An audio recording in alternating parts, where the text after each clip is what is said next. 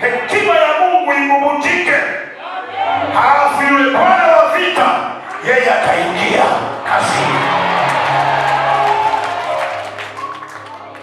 Wanaangaika na boti, Yesu amerelax. Wanaenda kumwamsha, cha kwanza yeye awaulize, unataka upepo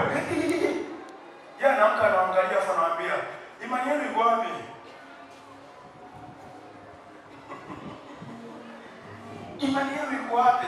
Halafu mwanaume akaangalia ile dhoruba akasema, dhoruba kimya. Jamaa akasema mm, ni nani huyu hata pepo na bahari vinamtii? Ni kwa sababu mwana wa Mungu ana mamlaka juu ya bahari na vilivyomo. Mtu mwingine anasema hiyo si dhoruba. Na samaki je? Kuna samaki aligeuzwa kuwa hais kupeleka Yona Ninawi. Samaki alitengenezewa siti tumboni zikaundwa, alafu Yona akaingia akaniga bao mwanaume kupeleka gospel. Samaki anageuka kuwa bodaboda ndani ya maji, tena inakuwa ni meli, sio ya vyuma, ni meli iliyo hai inayokula. Kuna mamlaka mpaka kwa samaki wa baharini.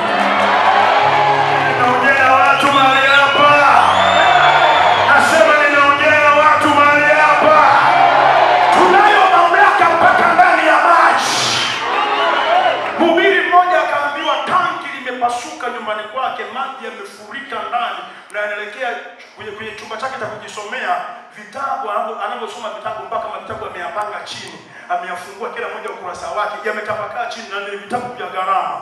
Alipoambiwa namna hiyo, akasema kwa jina la Yesu. Unajua nini? alipoenda nyumbani kote, anaingia maji yako mpaka huko vyumba vyote maji yalipofika kwenye mlango wa chumba kuingia kwenye chumba cha vitabu yakasimama hapa, yanaingia huko kwa wajinga wajinga, so si na nani, sio kwenye vitabu vya neno la Bwana.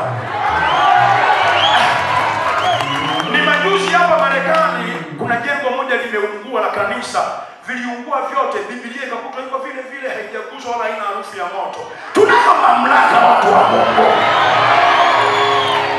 Hebu mpe Yesu makofi yaliyoshiba sana sana. Hebu